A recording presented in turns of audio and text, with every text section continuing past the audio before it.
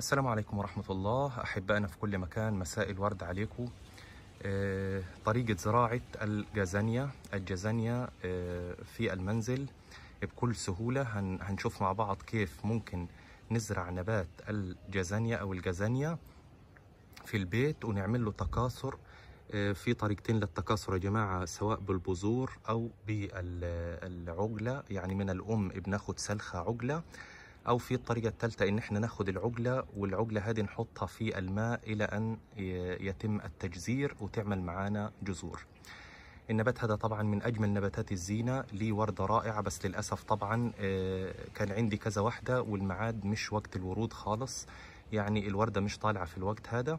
فأنا هوري حضراتكم كيف نعمل له تعقيل ونزرعه على طول في التربة أو إن إحنا آه، نزرعه في الماء لغاية ما يعمل معانا جذور وهضرب لحضراتكم مثل بواحدة أنا زارعها في الأرض عندي آه، وكيف ممكن ال- ال- الوردة بتاعتها تطلع معانا البذور بكل سهولة.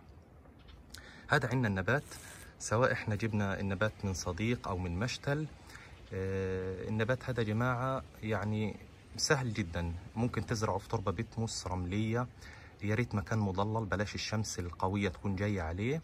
وفي نفس الوقت آه، بترويه كل كم يوم مع باقي النباتات. يعني مراعاته عادية جدا وفيهاش أي مشاكل. كل ما تلاقي الأرض جفت بتسقي كل ما تلاقي ال ال آه، عندك حوض مليء بالورود وهتسمد بتسمد لكل النباتات. يعني بيعامل زي باقي أي نباتات أخرى. كنباتات زينة بلاش الشمس الحارقة السقاية مش بزيادة لأن شوفوا أي نباتات تلاقي أوراقها يعني ممكن تكون بتحتفظ بالماء بنسبة يعني نوعا ما كويسة اعرف إن هو مش محتاج سقاية كتير. يعني بيرجع حتى لشكل النبات زي الصبار بتلاقوه دايما تخين ومليء يبقى اعرف إنه بيحتفظ بالماء. إذا هذه أنا باجي كل 3 4 أيام بسقيها ودلوقتي عايز أعملها تكاثر عندي في البيت وأنقل منها للحديقة. وفي نفس الوقت تسميدها يعني عادي يعني ما بتحتاج تسميد زائد. وسهلة التكاثر ووردتها قمة الجمال وشكلها في البيت جميل وبنصحكم بزراعتها. لو جينا هنا جماعة الحين شفنا إحنا شكل النبتة. عايز أضرب لكم مثل كيف موضوع ال- الوردة. تطلع لنا بعد ما تنشف بذور وممكن نحطها في ال- الحوض أو ال- القصيص ونسقيها وتبدأ تطلع معانا. أنا كان عندي واحدة زي هذه من حوالي مثلا آه، بالضبط أسبوعين وكانت واحدة سلخة واحدة عقلة فقط من الأم. أخذتها من صديق ونقلتها ودلوقتي موجودة عندي في الأرض هوريكم. لو جينا هنا بصينا هذه جزانيا شوفوا في الأرض أرض رملية عادي جدا بس ما شاء الله كانت صغيرة جدا يعني. ما فيش في غضون أسبوعين مع السقاية باقي الحوض. بدأت تكبر معايا وأوراقها بقى غير اللي موجودة عندي في الكيس البلاستيك أو القصيص بدأت أهي الأوراق تبقى فيها نضارة وتكبر ودلوقتي هذا هتبدأ تلاقي فيه الساق بدأ يكبر أكتر ويطلع كذا ساق وشوية إن شاء الله هتورد معانا وتطلع وردتها الجميلة. فالوردة لما بتطلع نضرب لكم مثل هذا عندي نبات ورد بيطلع وردة بيضاء. الشجرة شوفوا يعني نضرة جدا وخضرة لكن دلوقتي ظهر عشان الخريف كل الورق وقع. ولو تلاحظوا دبل وكانت مليئة بالأزهار البيضاء قمة الروعة كبيرة ومفتحة شبيهة بوردة الجزانيا شوفوا كل الأوراق ط- يعني بدأت تدبل وكل الورود بدأت تذبل وتقع. شوفوا لو جينا هنا كان هذا كله مليء بال- بالإيه؟ بالبذور لساعة ما نشفت.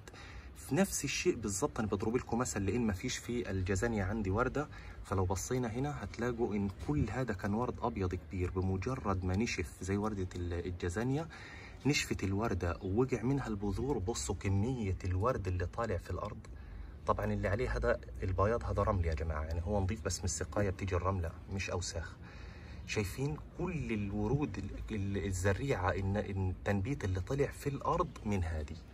فاحنا هذا خير دليل ومثل على كيف إن الوردة ممكن تدينا بذور تطلع ورد جديد. الجزانيا نفس النظام هتطلع معانا وردة أول ما تدبل زي الوردة هذه هنمسكها بالراحة ناخد ال- البذر اللي فيها. شوفوا هنا ما عملتش أي حاجة غير إنه لحاله سبحان الله. كل الورود بتاعتها أهي الصغيرة البيضة دبلت نشفت وقعت ادتنا كل اللي أنتم شايفينه. شوف قديش الزريعة اللي طلعت على الأرض كلها هتبقى زي هذه بالظبط وممكن نفصلها في المستقبل وتبقى كل واحدة. هذه وردة قمة الروعة ولونها أبيض وجميلة. اذا بمجرد ما نشفت ووقعت على الأرض ادتنا شوفوا كمية ال ال الإنبات اللي حصل من ثلاث أربع وردات نشفوا. فالجزانية أهي نفس النظام. هتكبر شوية هتطلع لنا الوردة. الوردة فتحت بعد ما تفتح تدبل تنشف ناخد بذورها. وننثرها في القصيص أو في الأرض هتدينا نفس الشكل هذا. اذا ضربنا مثل بزراعتها من البذور من الوردة بعد ما بتنشف. هذا أول شيء. وشوف في الأرض كيف بترعرع غير اللي موجودة عندي في القصيص أو في البتاع اللي أنا لسه هنقولها. اذا بسقيها مع باقي ال ال ال النباتات. مية خفيف خفيف كل ما الأرض تنشف. وفي نفس الوقت تسميدها مع باقي الحوض. بسمد الحوض والمية بتجري فيه مع السماد ومية مية. هذا بالنسبة لي ضربنا مثل كيف الورود. ناخد منها البذر ونتعامل معها. نيجي هنا هنشوف. تحس إنه يعني مش بنضارة اللي بيكون في الأرض. الحين عايز أفصل واحدة أنا زي هذه مثلا أهي. عندي واحدة بس بابا عايز أفصلها. ممكن نفصلها. يا جماعة شوفوا بنيجي من الأرضية من تحت. طبعا يا جماعة كل فترة بتلاقوا الجزانية بتعمل معانا إيه؟ اللي هو هذا اللي بينشف. عادي جدا كل الجزانية كده. كان عندي كتير أهو ووقع على الأرض شلته كله دلوقتي. بيتشال عادي خالص عشان تديها تحفيز. كل ما ينشف فيه الزيادات هذه بنقصقصها ونشيلها. بتفضل الأماية محتفظة بقوتها ونضارتها وبنشيل الزيادات. الحين عايز آخد عقلة مثلا نفترض هذه. في كذا عقلة بس نفترض هسلخ أنا هذه من الأم. أهي. قطعناها. شوفوا هذه دلوقتي اهي عقلة منفصلة عقلة منفصلة. بنيجي هنا بننظف أرضيتها لو فيها أي شوائب أو حاجة. تمام؟ أهي أصبح عندنا عقلة منفصلة.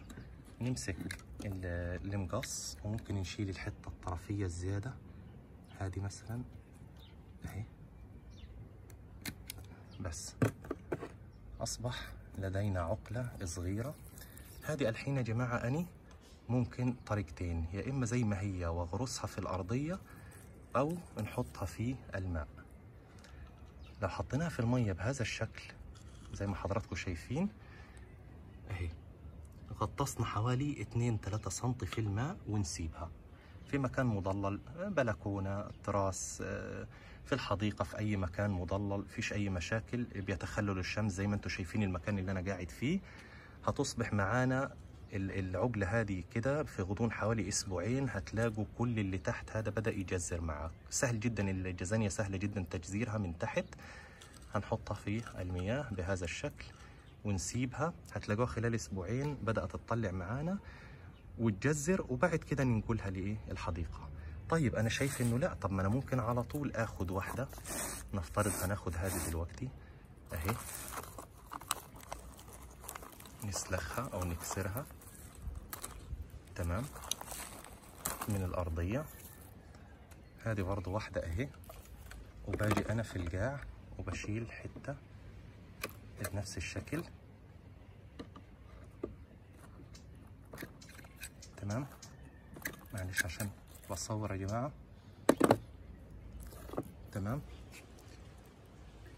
وباجي أنا ممكن هذه على طول زي ما هي أهي نعملها تكاثر سواء في المية أو عن طريق الوردة بتطلع البذور زي ما قلنا هذه الطريقتين والطريقة الثالثة أهي. هنيجي ننظف ننظفها من تحت خالص كده ونشيل هذا كله. وممكن آجي أنا عندي مثلا مكان فاضي هنا أهو جنب الصبارة. شوف ما أصغرها هذا يا جماعة في غضون ممكن شهر تلاقوها صارت يعني كبيرة وبدأ السقي يرعرع ويطلع كمية على الجوانب ممكن أبدأ برضو أستنسخ منها وأزود. عندي هنا الصبارة هذه مثلا جنبها حتة فاضية زي هذه بننظف كده وباجي أنا على المغربية بسقي بسقيهم على الخفيف وبوسع لها في الأرض بنفس الشكل. أهو بعمل لها مكان وحاولوا تخليها نازلة لغاية بداية الساق زي ما أنا وريتكم في الثانية اللي هناك يا جماعة. يعني أهي هنخلي هذه مثلا لغاية هنا بالظبط هذا كله في التربة. فلو جينا بصينا اهو شايفين؟ سقطناها في الأرضية. تمام؟ ونعدل هنا ونعدل كده. شايفين الشكل العام؟ أهي. اتفرجوا عليها خلال مثلا أسبوعين ثلاثة هتبقى زي اللي وريتها لحضراتكم في الجانب الثاني من الحديقة.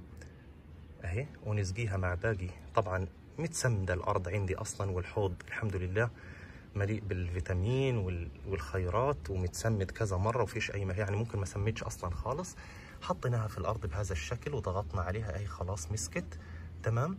باجي على المغربية بسقيها والمكان هذا هو ظل بيتخلل الشمس. هتلاقوها خلال فترة صارت حوالي تربل يعني ضعف مرتين ثلاثة وبدأت تطلع لها نموات من كل حتة. الجذر الساق بدأ يعلى معانا ويكبر وشوية إن شاء الله وردتها الحلوة تفتح معنا. إذا هذه طريقة إن إحنا نقص من الأماية حتة ونضعها في التربة أو القصيص على طول وبتمشي في التربة الرملية وبتنجح مية مية. هذه طريقة. الطريقة الثانية زي ما قلنا إن إحنا نحطها في الماء بهذا الشكل وخلال أسبوعين برضه هتكبر معانا وتجزر من تحت وممكن ننقلها. فأنا شايف إن الطريقة هذه يعني عادي ملهاش قيمة لأن على طول ممكن نحطها في الأرضية زي هناك. والوردة زي ما قلنا مش هنعيد خلاص بتدبل معانا زي وردة القرنفل. بنمسكها بالهداوة بنلاقي بتطلع معانا البذور. شوف أنا من غير ما أعمل حاجة الورد نشف وقع على الأرض. الأرض شربت مية مع الري ملت الأرضية. خلاص إذا هذا كان موضوعنا عن الجازانيا كيف نعملها تكاثر من العقلة أو في المية أو في من خلال الورود الناشفة البذور. كده بيتهيألي قلنا كل حاجة عنها. أتمنى الفيديو يكون نال الإعجاب وإن أنتم تكونوا استفدتوا إن شاء الله من هذه المعلومة. الجازانيا رائعة جدا وشكلها رهيب كنبات ظل وبتدي ورد وشكله حلو جدا وطريقة تكاثرها سهلة ريها وتسميدها أسهل من السهولة. يا رب إن شاء الله يكون نال الإعجاب الفيديو ونشوفكم فيديوهات تانية مستقبلية. ادعموا الاشتراك يا جماعة نسعد برؤياكم. كان معكم أخوكم نعيم حجاب والسلام عليكم ورحمة الله وبركاته.